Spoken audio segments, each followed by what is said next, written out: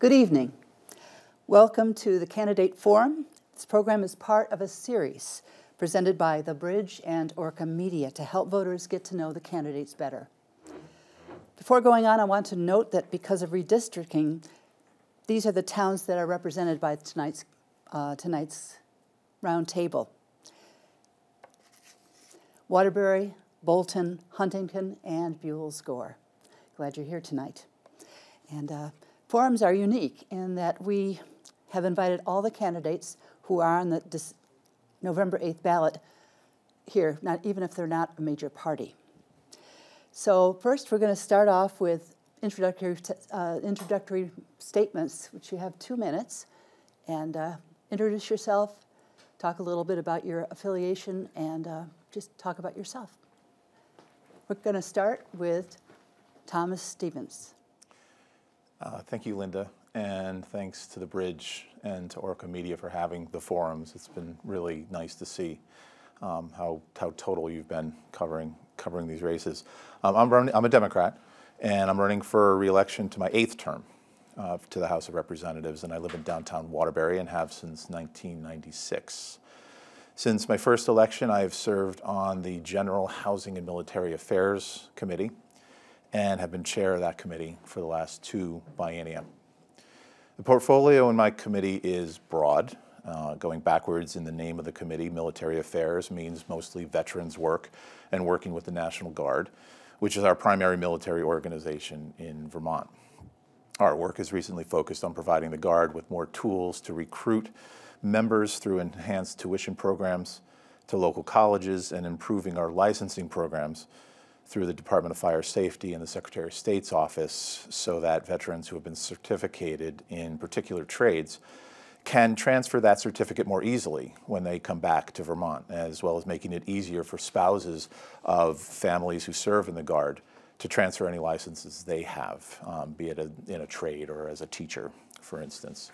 Um, in housing, we've worked to provide more affordable housing for Vermonters in need of it, and we've worked to mitigate the effects of homelessness or impending homelessness with the help of federal dollars throughout the pandemic. We've worked with the executive branch to distribute tens of millions of dollars to tenants and landlords for rental assistance, and we've allocated tens of millions of dollars more to property owners to rehabilitate or build new units. Under general, under the general category, we deal with a myriad issues um, ranging from oversight of the Department of Liquor and Lottery to labor issues like minimum wage and paid family leave, from Abenaki recognition to a formal apology from the General Assembly for the wrongs that we did during the eugenics survey in the early 20th century. Um, we have, um, you know, we've also worked on discrimination cases and things like equal pay. So it's pretty broad. It's a pretty broad committee for us to work on. Um, this is the work we do, and the work outside includes constituent work throughout the year. And while I'm proud of the work I've been able to accomplish, um, it's a real privilege to have served this long. Thank you. Next, we'll hear from Teresa Wood. Thank you, Linda, and uh, thank you to Orca and the Bridge for sponsoring this. Really appreciate it. Um, as I said, my name is Teresa Wood. I'm from Waterbury. I've lived my whole life in Vermont.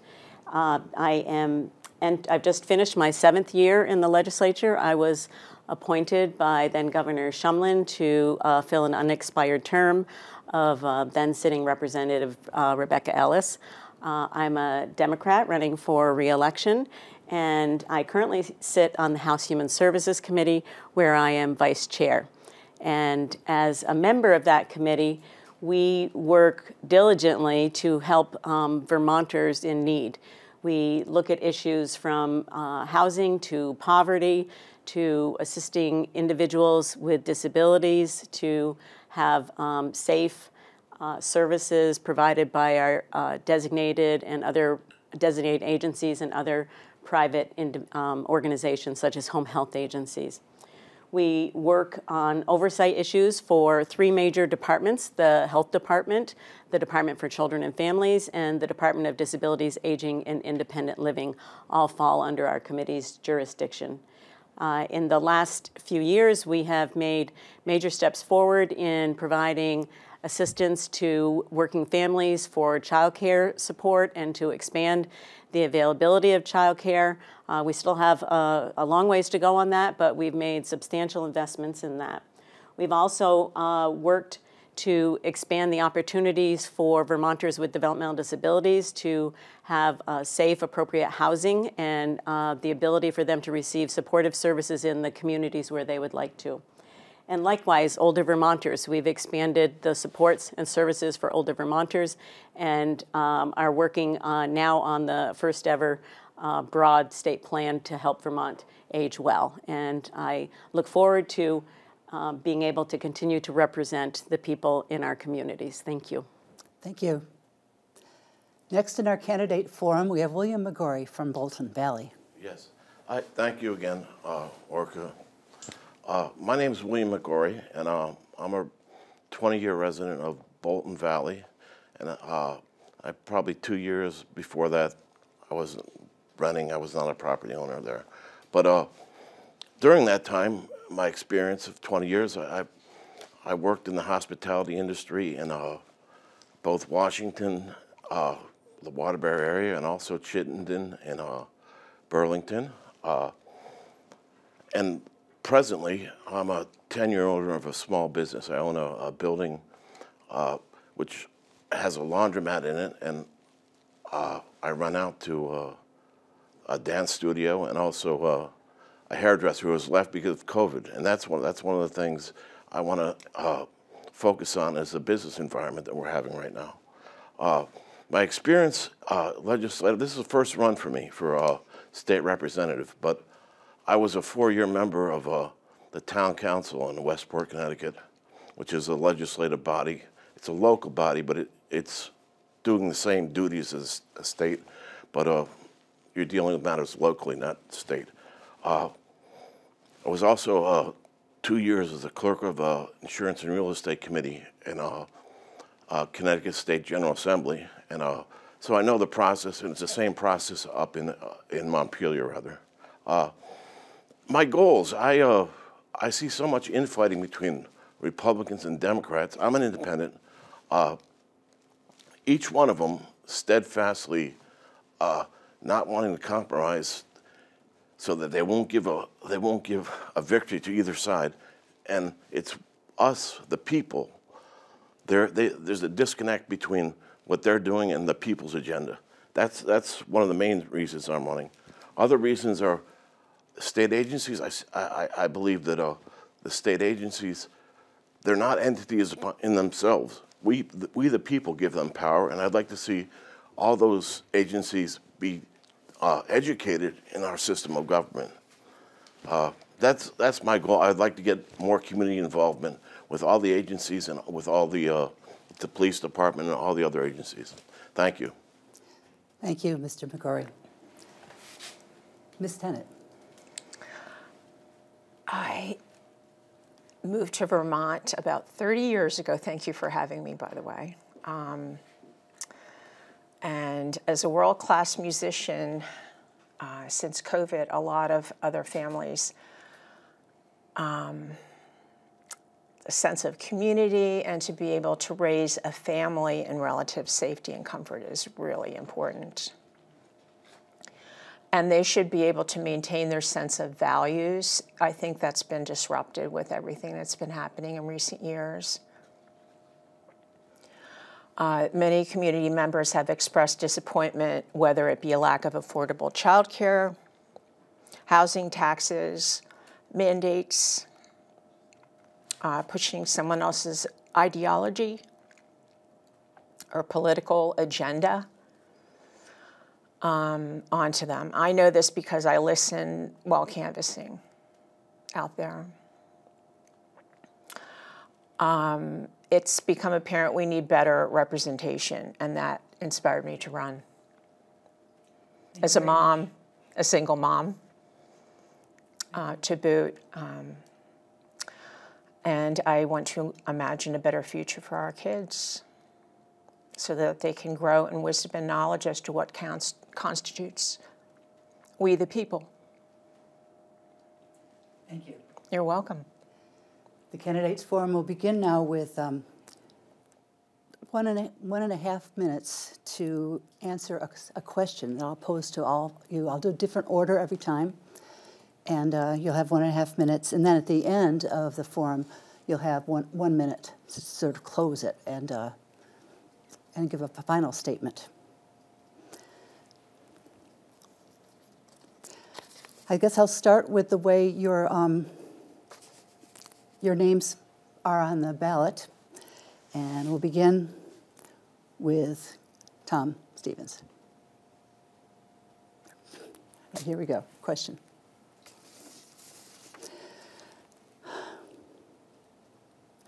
When you are in the State House, how are you going to use this role to improve your district?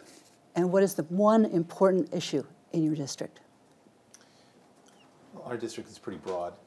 Um, Waterbury is quite different from Bolton, which is quite different from Huntington. So um, one thing or another is harder to pin down. But again, I work on the housing committee, and we've been very clear um, since since I've been in office about the dire need for housing that's affordable and, affor- and which is slightly different than affordable housing in my mind. And what we're seeing across the state, across the country, um, but in our district especially um, because it's in our it's right in our faces is the lack of vacancies for rental units. It's the lack of accessibility to affordable housing for families who don't make that much money um, in Vermont. We tend to pay people less than, than in other places, and we have 144,000 uh, income taxpayers who make less than $27,000 a year. And so having housing available for that um, demographic of people is really important, as it is for a middle class person who's now trying to move into the area. We've had a big business leave in Waterbury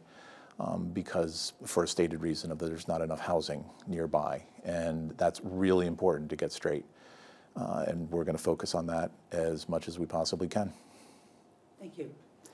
We'll move to Mr. McGorry with the same question. What is important in your district, and how will you work in the State House to achieve that? Uh, what's important in, in our district, like uh, Thomas said, certainly I, I've heard all about uh, the lack of affordability of housing.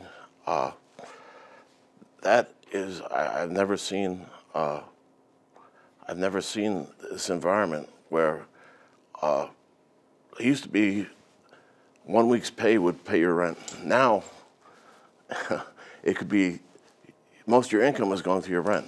Uh, how can we address that? I, am looking at at uh, at some type of rebate program. I guess it is uh, that will give more affordability to people searching for housing. Uh, that that seems to be probably the, one of the most important uh, things happening in this district. I do. I, I said before I do own a, a, a building, but up in the St. Albans area. There's certainly different problems there. There's an opioid problem, which I don't see terribly much in the Waterbury district, but uh, we, we do have to be vigilant in uh, uh, the way our, our, our way in our drugs, in our, the way the drug problem is, especially here. Thank you. and the same question for Teresa Wood. Thank you. Um, I think that the, the first thing that we learn as legislators is that you're there for the needs of your constituents, and your constituents are both individuals and organizations in your communities, as well as the municipal government in your communities. And so uh, we respond on a frequent basis to uh, outreach from uh, whether it's an individual consti- constituent or it could be a town clerk asking for clarification of a bill that's come up, or we in turn also seek their input on things that we see coming up on the calendar and asking, you know, what's your thoughts about uh, how this might impact business. Uh, the business that you do every day. So, constituent services is a, is a big deal, uh, and it's something that uh, means a lot uh, to me as, an, as a legislator because it helps me to connect with the real issues that people have in our communities. Uh, one of the big things that um, municipalities are interested in is bridges and roads uh, and the state assistance for that in the transportation bill. And so uh, making sure that we can link our communities to the appropriate resources uh, is important. And um, I, I, do want to mention the child care services and the ability for people to return to the workforce who aren't currently now in the workforce because having left due to COVID. Um, we need to have people return to the workforce if they want to, and childcare is one of the keys for that. So I'll continue to work on appropriate, um, low cost, high quality uh, childcare for Vermonters. Thank you. Kathy Tennant, same question. I'm sorry, the question again. Okay. Specifically. Sure. when you're in the State House, how are you going to use your role to improve things in your district? And what's the most important issue in your district? I will continue to speak to people. I'm a working person. Um, I'm still working, and uh,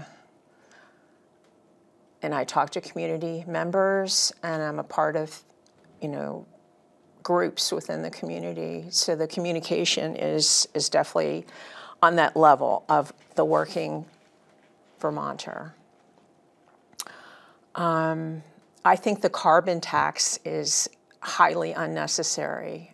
Um, we're already we're already dealing with quite an increase in gas and, and heating fuel. I was shocked to get my heating bill this fall, early this fall. Um, there's people that, that are very comfortable and they can afford to pay that, that sort of thing. There's a lot of people in our community that cannot. So to put a tax on top of that, um, that's, that's, to me, that's some kind of ideology that's going on. Um, that's, that's interfering with our government process. Um, I think the importance of law enforcement and properly funding them. I have a friend uh, that lives in the Waitsfield area. I know that's outside of our district, but that's an example. Um, there is not one police officer in that whole area, Waitsfield Warren, that's been assigned to that area. Um, that's problematic. Um, and I'm, I'm hearing about more police that are dropping out of the profession. And more people are not going to be interested in joining the profession if the pay is not comparable to the job description and responsibilities, expectations. Um, lower property taxes. It's the when I owned a home in Fayston, the property taxes tripled within a 12-year period. Um, and you know, we need to honor the school board and the superintendent's request to not place more expensive mandates via new programs onto our school systems. Thank you. Thank you. now here's in the candidate forum here is our second question. When you, sorry, do you believe the Vermont legislature needs to focus more attention on election security? And if so, what actions do you propose? And we'll start with Ms. Wood. Thank you. Um, the legislature is continually uh, interested in election security, and Vermont has been cited, in fact, on a national level for its uh, very high level of election security. And so uh, I believe, yeah, we're, have, we're going to have a new Secretary of State. That person will certainly focus um, on election security. The legislature will continue to do that. We've made um, voting more accessible to more Vermonters than ever. Uh, we've continued that, and we will uh, also continue to look at um, election security. However, I, like I said, I want to repeat that Vermont has been cited as being one of uh, the most effective states in running its um, voting process. Thank you. Next, I'd like to hear from Ms. Tennant. I my estimation is that voting by mail is is very susceptible to fraud. I have two friends that moved from their residences, one actually out of state, received a ballot in the mail. Um, she she reported it, and it was it was kind of a fuzzy answer that she got. If if she were to vote in her state of residence now in Ohio, and didn't know about what was going on with the, the mail-in ballots, I mean that's that would fall back on her, and she would be held liable.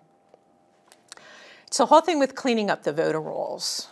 Um, if, so she's going to be mailing that back. So who's to say where that that ballot is going to get mailed back to? Is that secure enough to get that mailed back and what person is receiving it on that end? Who's to say that that person on the other end is not going to use that ballot? Harvest it, I guess that's the term. Um, another friend around the corner from me left her job and her residence and she received a ballot at her new address. Or at her old address, I'm sorry, at her old address. Okay. And the person that she was taking care of received a ballot who has since passed. So there you're talking about two ballots in mailboxes right around the corner from where I live. What's going to happen to these ballots? Who's to say that somebody's not going to come along and grab them and mail them. It's a deep concern. Thank you. Just mail in ballots and in the way that it was done, that it automatically went out without us requesting a mail in ballot, I think that's a little erroneous. Thank you. Thank you. Mr. McGorry. I'm not, I'm not sure. I, I know I vote at uh, the Smilie School, and uh, they use paper ballots there. I don't know what they do in Burlington. They probably do have machines. Uh, it's, it's certainly a, a bigger, a bigger area. Oh, uh, I, uh, I know, and for example, my brother just came back from Brazil to, to see his wife. They vote with paper ballots. All right. Uh, they can wait a couple more hours. I don't have to have my instantaneous result. I want the result to be the right result, not one that can be fudged with. Uh, and actually, she says he told me that night they do get they do get all the ballots uh, counted, and uh, there's no centralized uh, position where there where any type of fraud can take place. This is one of the most important things in our uh, our government. It's our vote. Our vote is one of the most important things in our government. If you go into a liquor store, you got you got to show ID. You you get on welfare, you have to show ID. Everywhere you have, you have to show ID except at the at the ballot box. I think it's I think it's uh, certainly warrants matching a person to a ballot. Thank you. Mr. Stevens. Uh, I've been very comfortable with the way that the Secretary of State's office has been handling vote by mail, uh, both through the pandemic and this year. Uh, if you remember during the pandemic, even the primaries, which are party related elections, they're not state elections, they're held by the, the parties at hand. Um, they both went off fairly smoothly. Um, they reacted to the pandemic in a way that was incredibly thoughtful and they focused on making sure that the rolls were clean. They made sure that the town clerks were uh, up to date on what the processes were, and any hiccups that came up were straightened out through either through legislative action if needed or through the work of the town clerks. The town clerks did a phenomenal job across the state in making in making this system work. So I'm totally happy with the way that they've done it. They've been um, this Secretary of State's office has been very forceful in protecting any kind of attacks online from overseas sources. They have been, as, as Representative Woods said, they have been um, recognized as one of the most secure voting systems in the country. And um, as we heard, yes, the vote is the most important, and at a time when there are states across the country that are trying to deny people the vote, the right to vote, um, I'm really proud that Vermont is getting out there and, and is getting a way for us to vote at a higher level than we ever have in the past, and to do it securely. Thank you. This is a candidate forum for Washington and Chittenden. We have four candidates here, and I'm Linda Radke. We're going in different order every time. We have some questions, and then also the people from home can uh, make sure you put your questions in as well. We'll have those as well. This is a question that has already been mentioned is housing.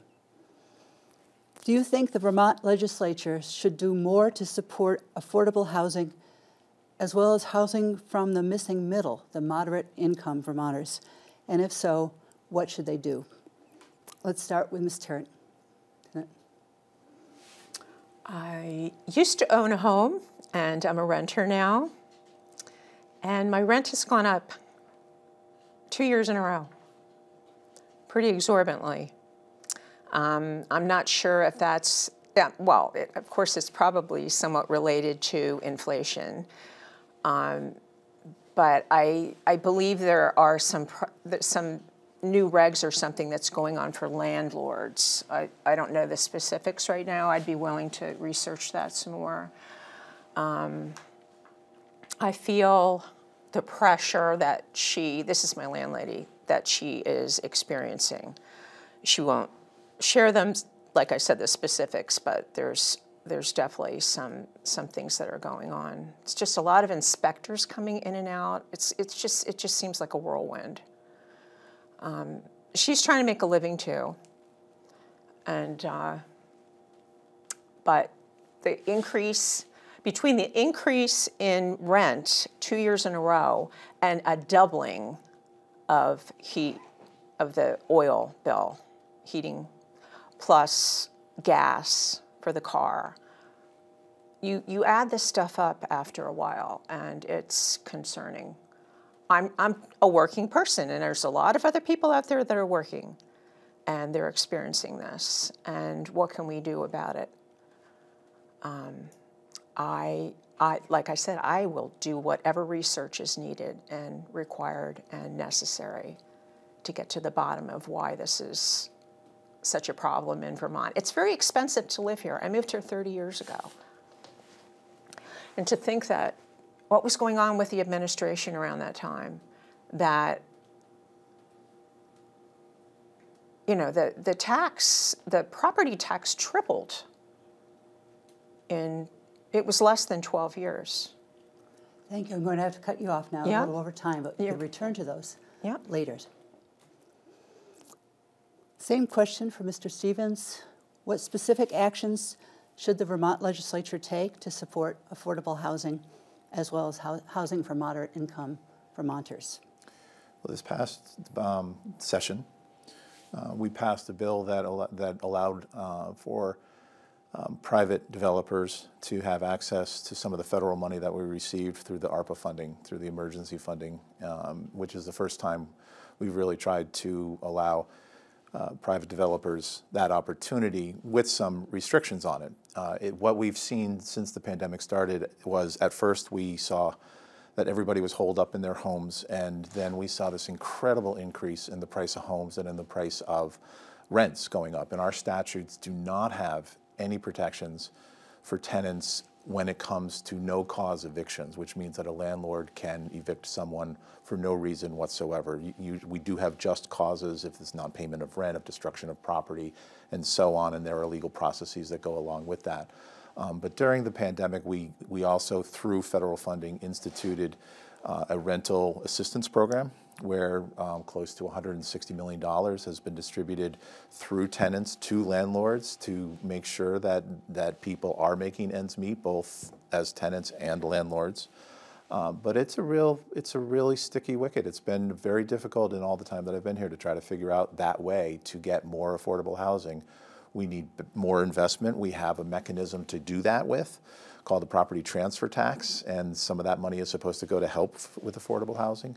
Um, but matching that up with uh, available funds for the so-called missing middle has been a struggle because uh, most private developers don't want to have any strings attached to money that they're that they're receiving in order to build housing. And if the state or the feds are going to give money, then there are going to be some strings attached. But this past session, we passed uh, we passed legislation that starts that process, and we'll see how it goes in the near future. Okay. Question about affordable housing for Mr. McGorry. Yes. Uh, I certainly see, have seen the rents uh, go up in my time in Vermont. Uh, I'm not a. I own a house. I, I own a house actually in, in, in Canada also, and it, what they doing? I'm not a, a big. Uh, this Régie de Logement allows. I'm not 100% for rent control, but if the problem gets that far out of hand, the Régie de Logement up there they say you can increase your rent by 2%, maybe 3%, whatever it is they decide that, at that point. Uh, that to me would be a, a last ditch uh, solution. Uh, if in our economy, our supply and demand, if you're experiencing super profits in one area, that's going to attract more business to that area and it's going to take away your profits. Just like if your rent is getting so high and you're making so much money, people are going to build new houses and all of a sudden there's a glut of houses. So it's somewhat self-regulating. But I say everyone's experiences uh, problems with gas, problems with electricity, and so they're having to have, have to uh, charge those rents. So it's it's not an easy it's not an easy solution. But like I said, uh, there could be rent control. That would be a last if ditch effort that I, I think you could you could explore. Thank you. Ms. Wood, the, the um, question on housing and specific uh, things that the legislature can do. Great, thank you. Um, I think it's important to understand the, um, the depth and breadth of the housing issue. In Vermont, most likely we would need an additional 10,000 units of housing to uh, meet what is the current demand for housing. We've made big steps, and big strides, as Representative Stevens said. Um, in the last three years, we've appropriated um, more than $375 million towards housing. Uh, and that's housing for middle income Vermonters, it's housing for low income Vermonters, uh, it's housing um, support to rehabilitate um, current uh, units that are offline uh, in order to bring them up to code. Those are forgivable loans to landlords to be able to bring those housing units back up to code and to get them back in the housing market. Um, we have uh, been able to provide assistance, uh, as Representative Stevens said, on, on rental. Um, we have also looked at uh, uh, increasing the availability of what are called accessory dwelling units, um, which are essentially um, trying to increase the density of housing uh, in our downtowns. And uh, so I have to say that I think the legislature is on the right track, and uh, but we will continue to need to focus on this area. Another question coming up, but everybody take a little bit of water.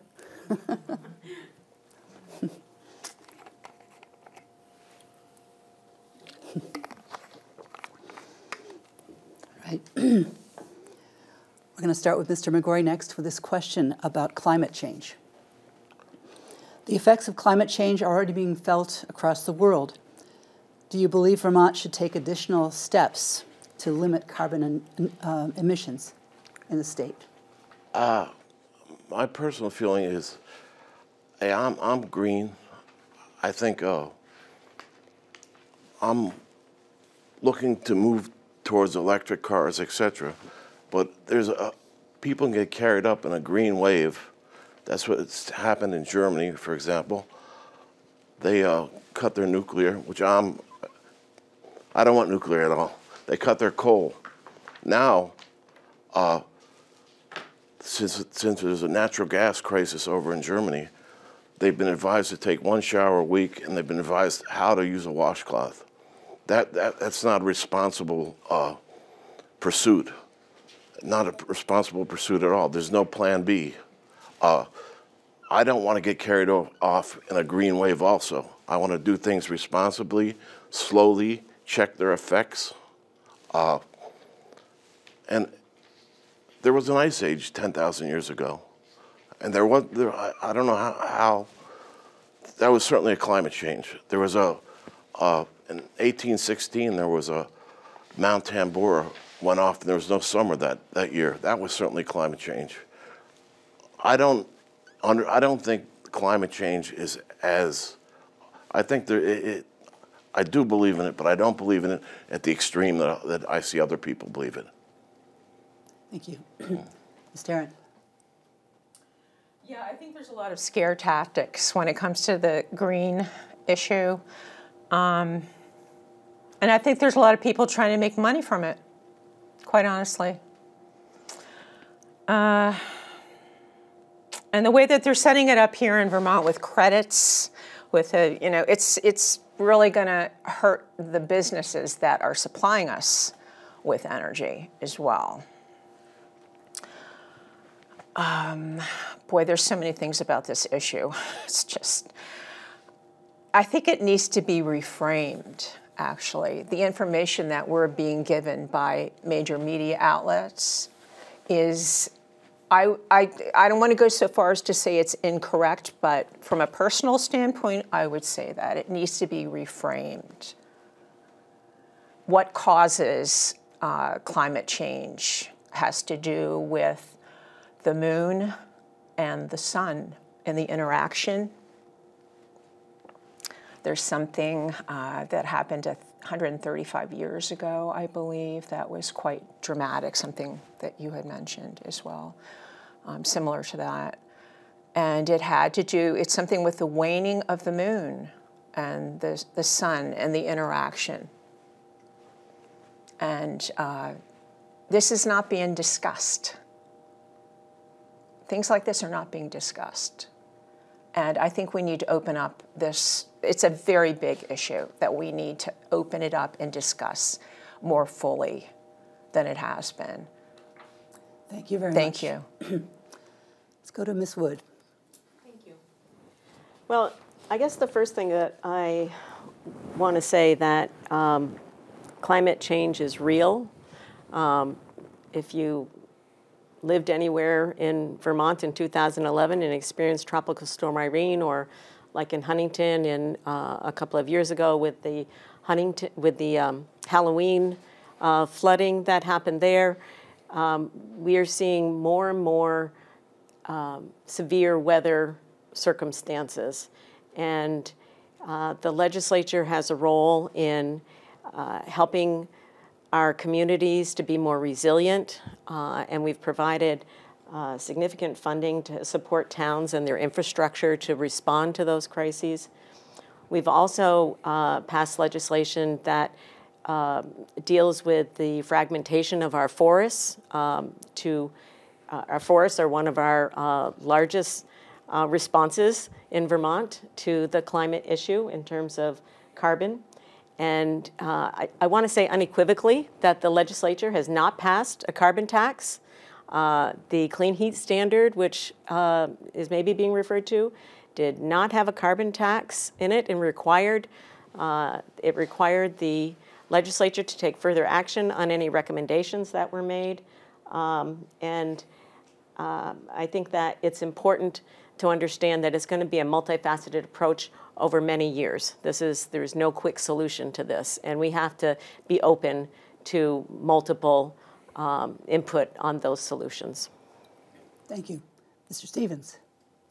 Um, thank you. Also, unequivocally, climate change is real. It's been affecting Vermont for a very long time. Um, many years ago, I picked up a, a, National Geographic from 1975, and there was an advertisement from an oil company that said that we're running out of oil, we're at peak oil, and that oil um, has contributed to the warming of the planet. So this is something that's been known for a very long time. We've actually been very slow in addressing this. And the, what the legislature has been able to do, some of the work has been vetoed by the administration, by the governor, um, is to look at this very clearly and relying on the existing science as much as possible. Um, we don't need to look too far to look at Pakistan recently and to look at what just happened in Florida. The, the storms that are happening are happening in a way that hasn't really happened on a regular basis prior to this period of time. And every month we see that this was the warmest month ever. Um, it's been going on for years. In Vermont, we have um, the biggest energy uh, carbon creation right now is transportation.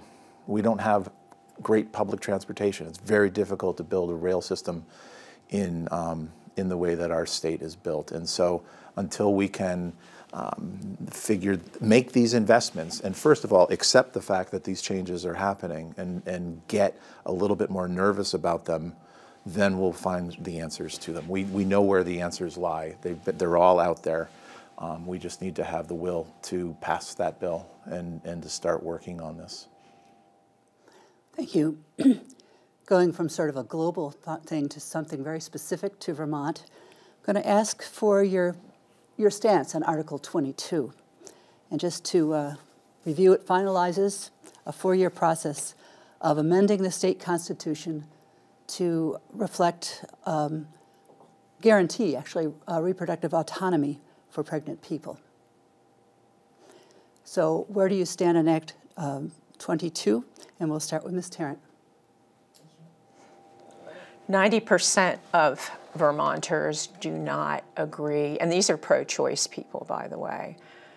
They do not think that Article 22 is a good idea. They don't believe in an abortion at nine months. You're talking about a fully formed, viable baby. And this would be entered into the Constitution in Vermont. So 90%. Um, it's, it's a lot more extreme than Roe versus Wade. I think that, you know, the Supreme Court ruling in the way that they did, it, it again, it's scare tactics, you know. Uh, oh, you know, it's going to happen here in Vermont, and we need to do whatever we possibly can to make sure that it doesn't. Um, Roe versus Wade was, I think, the first trimester. You're talking nine months.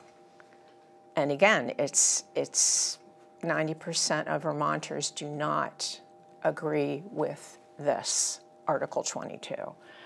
Um, and why should the taxpayers have to pay for somebody's abortion? I, I just have a problem with that. I don't want to pay for somebody's abortion. I work hard, I pay taxes. That's, that's a personal choice, and that's something that should be between the woman and her doctor. And Article 22 means it's going to be in public.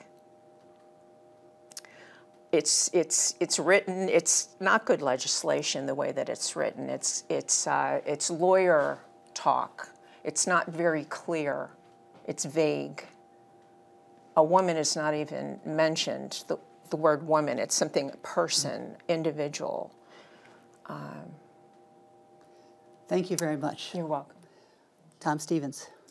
I totally support um, Proposition 22 or Article 22. Um, I have to push back against some of the numbers that were just mentioned. Um, recent poll just showed that 70% of Vermonters support Article 22. Um, that's been the case since this was started over four years ago.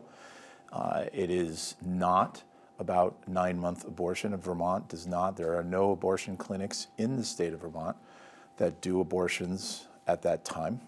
Um, so this mis it's misinformation, essentially. Um, it is putting into the Constitution the right of this choice to be between an individual and their doctor, and that the, that the legislature, which changes every two years, it will prevent the legislature from easily passing anything that denies that right of those individuals.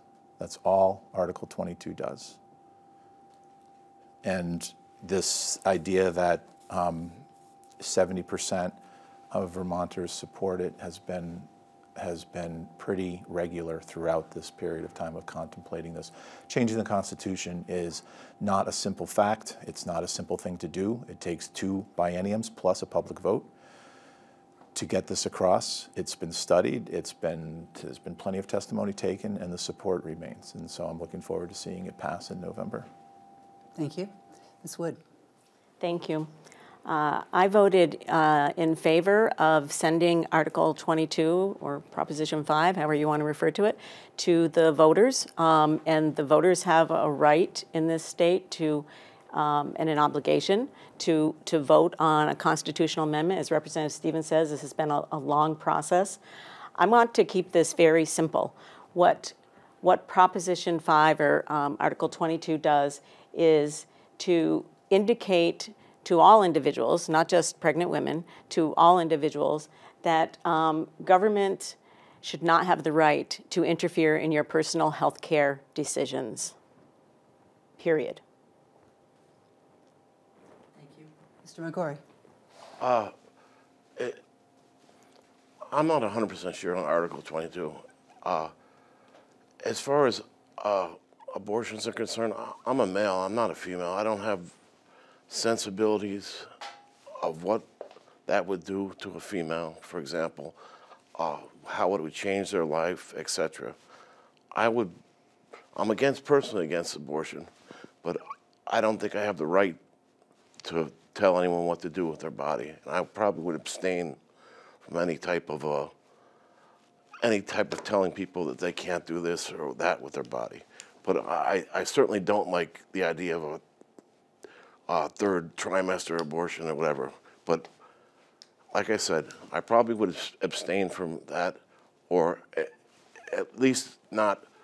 Uh, I think an individual has a right to their own body and their own decision, just as I think pe- people have the right to choose a vaccine or not be vaccinated.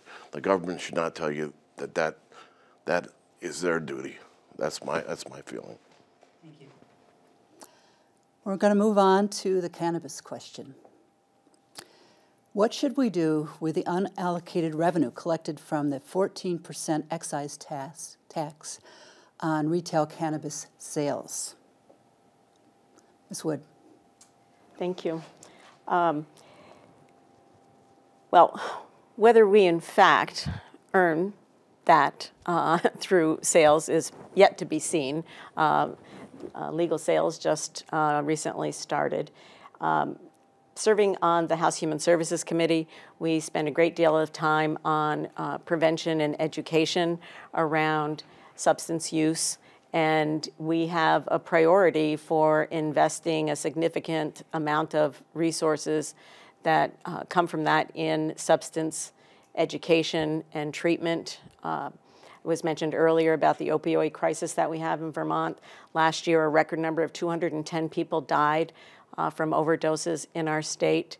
And we, uh, while we have a hub and spoke system that provides treatment to people with substance use disorder, um, it is not sufficient. Um, we need to do we need to do more, and we need to explore other alternatives. So, uh, investing any resources that we might get from that into related substance use issues, I think, would be um, would be what I would look to do. Thank you. This is the Candidates Forum here on Orca Media, also sponsored by The Bridge, and I'm Linda Radke. This is not a debate, it's a, sort of a round table. So we're giving each of the four candidates a minute and a half to answer some questions that are pertinent. We also may have some questions from our audience who will call in the questions. Let's turn to schools. Do we need to change the way we fund education? Less property tax, more income tax. Vermont is uh, consistently ranked among states with the highest per pupil spending more than $20,000 per student. The question is, how, are we getting a good, a good re return on our investment? So talking about school funding, let's begin with Teresa Wood. Well, thank you. I didn't know if the other candidates were going to get to answer the question I just answered. Thank you. I just thought I might. I, I, mean, you. I'm happy there- to answer two questions in a row, but there you are. There you are. Yes. Sorry. I meant to keep myself straight on that. So we'll just go down to Ms. Mr. McGorry. So the question we're going to back. What was the question? yeah, we're going to back up the question. The effects of climate change. No, no, Ah. cannabis. Cannabis. How would you use the cannabis? Gee, I forgot. um, yeah, sh- what should we do with the unallocated funds collected from a, a possible 14% excise tax on retail cannabis sales? I, I do. I, I, I agree that there's an opiate problem, and I think some some of that uh, money should be spent uh, directly towards the, the opiate crisis. Uh, you were talking about school funding. That's going to be an opportunity to fund schools. Uh, I know you said the, the pupil cost is, is per pupil cost is very high, but you know, cannabis uh, revenue might come in handy with, with that. Thank So you. it's, it's, it's either school funding or attacking the opiate crisis. That's Okay. Kathy Tennant, Terrett. Thank you. Um, a representative from Colorado came to speak, I think it was around a couple of years ago, and I decided to attend. Um, and he mentioned that it's not a good idea to legalize marijuana to the point that it's commercialized. Um, and, and he said the tax that you get back does not offset the cost, basically, because it, there's a lot of social cost involved in, in the increased use of cannabis. Um, I think it's fine if you want to grow your own and if you want to share it with your friends and that sort of thing. But this whole idea of mass producing and then you're attracting nefarious elements because then it's a big money making thing. Um, I'm concerned about that. Uh, based on my own experience as a mother and also from one of my children living in Colorado and what I've heard that is happening out there. Thank you. Tom Stevens. What to do with um, the 14% sales tax is still, I think, a question that hasn't been answered because we don't know how much it's going to be. Um, From the lottery, we, we net probably close to $30 million for education. Um, Through spirits, the sale of spirits, we probably net around 28 to 30 million dollars.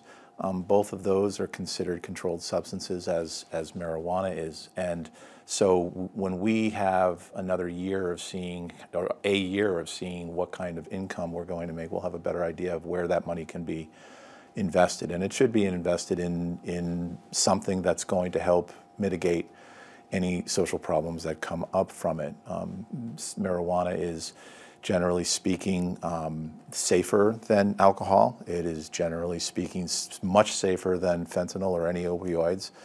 Um, the problems that come from it will come from um, from a personal use issue. I'm of the school that it's already illegal. It's already illicit, except for homegrown now. And well, now it's now it's not for for recreational. But the idea that it has been a public safety thing for all these years has really the prohibition against marijuana has created more problems than um, than legalizing it will. And as long as we can invest in the social the social programs that will help mitigate the problems with any person who has a problem with it, then I think that that would be sufficient. Thank you. So with Act 22, with cannabis, uh, now we're going to, schools, we'll go to the, the one I was going to, ask somebody else. Um, this is about funding education. So should we change the way we fund education in the state? As you mentioned, $20,000 per pupil cost. Are we getting a good return on that? And do we need to change the funding for education? Start, Ms. Tarrant. I, uh, I moved to Vermont in the fall of 92 and had my son uh, shortly thereafter. I was at home with my children. I had a daughter a year and a half after that, and they entered the local community school uh, just as Act 60 came in. My, my son, I think he made it through kindergarten, and then my daughter was right behind him. They're just really close in age.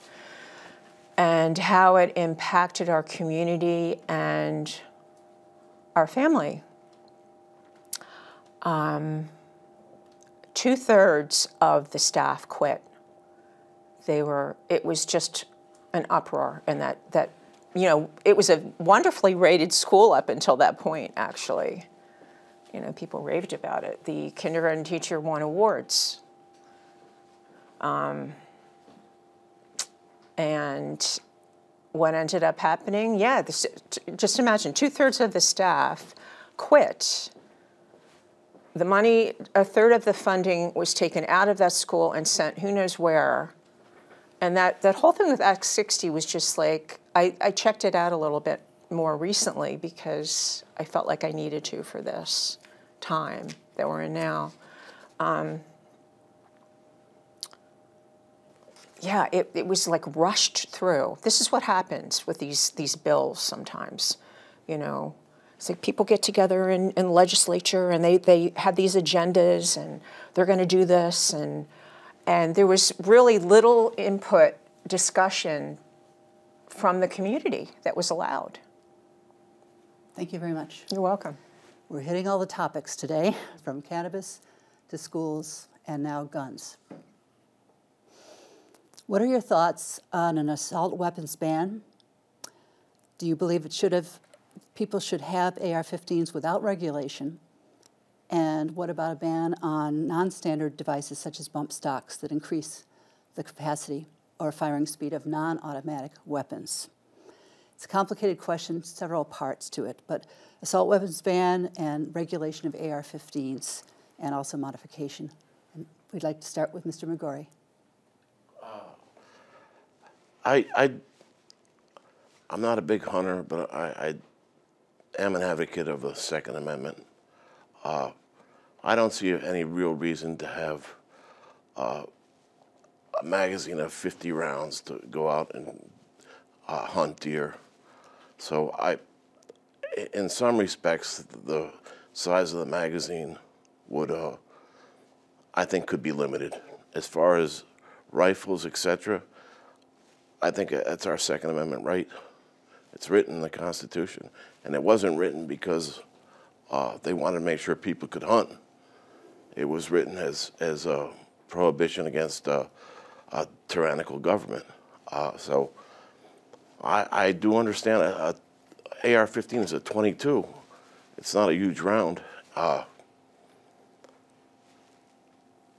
my, my like I said, my feeling is I, I would compromise on, on some uh, the size of the magazine and some assault weapons, but as far as guns go, I certainly want uh, people to enjoy their Second Amendment right.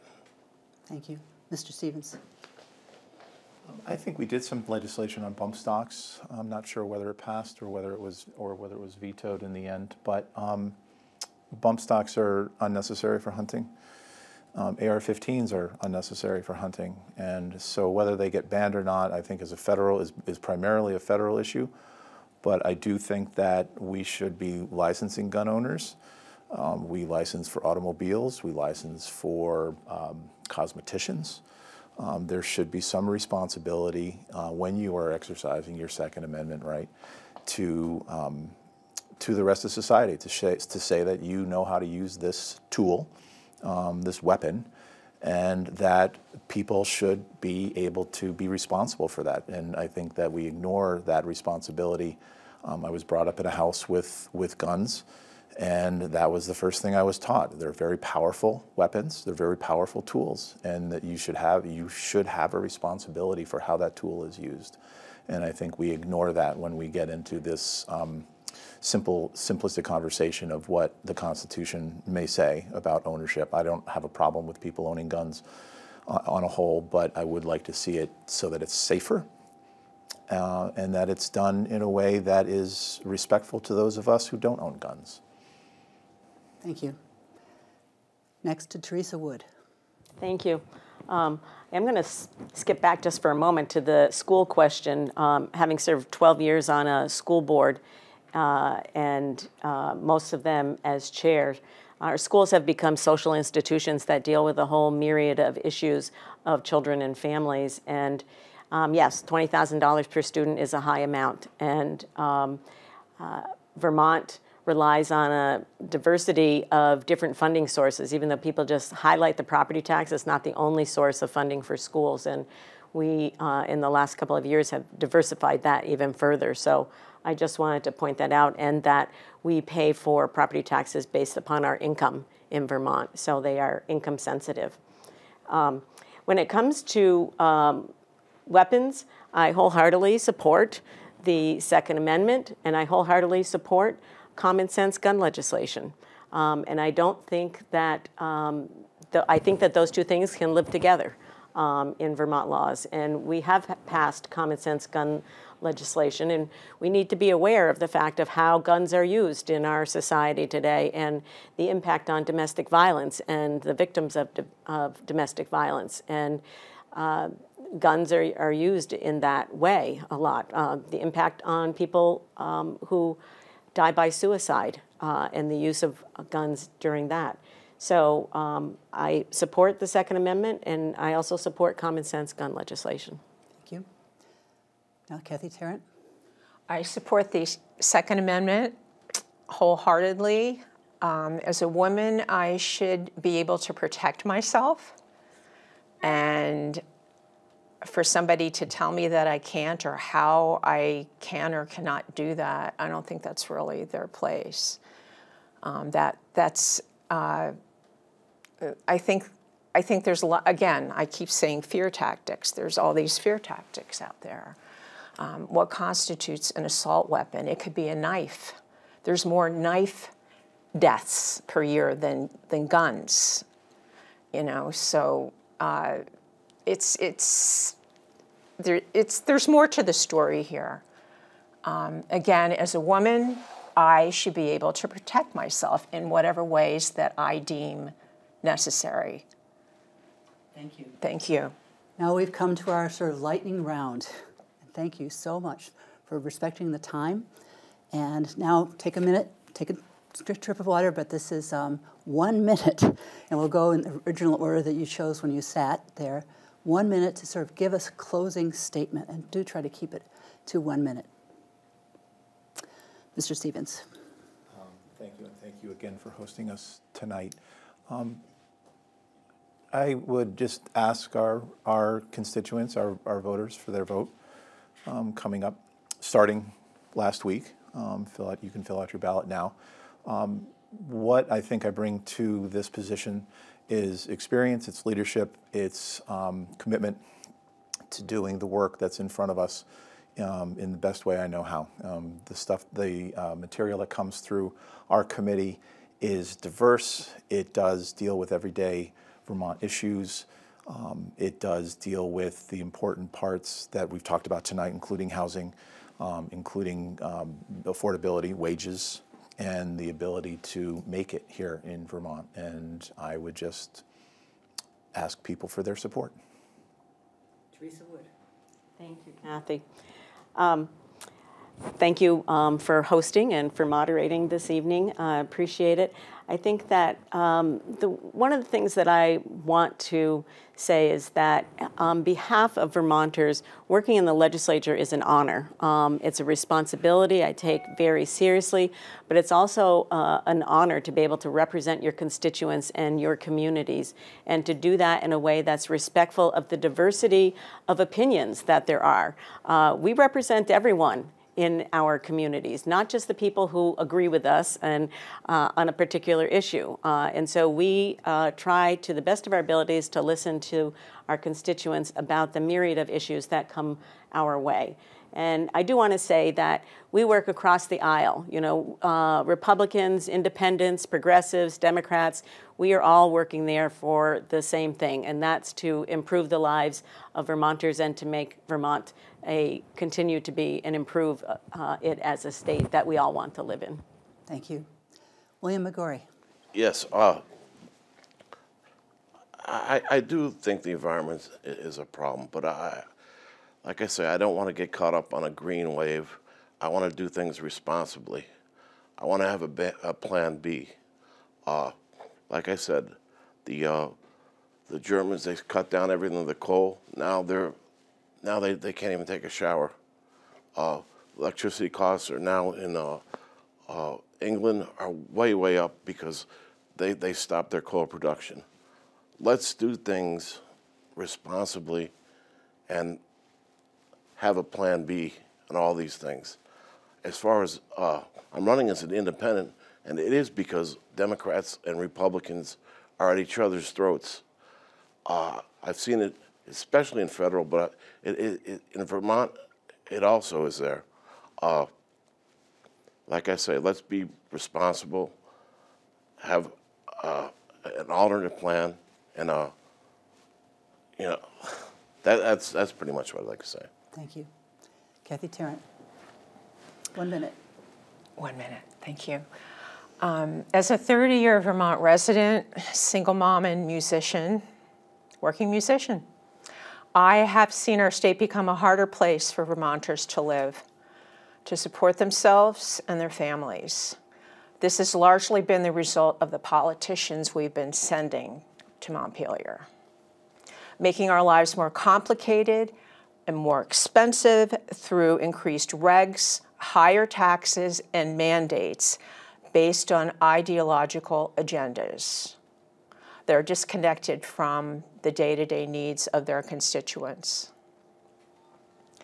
Vermonters deserve better representation at the State House that is more reflective of their wants and needs and not based on the parlance of special interest groups or lobbyists. I'm Kathy Tarrant, and I'm asking for your vote. Thank you. And thanks to our candidates today for this forum on Orca Media, also co-sponsored by the bridge, the Montpelier Bridge, and uh, also tell, telling everyone to remember to vote. I'm Linda Radke. Thanks so much for listening.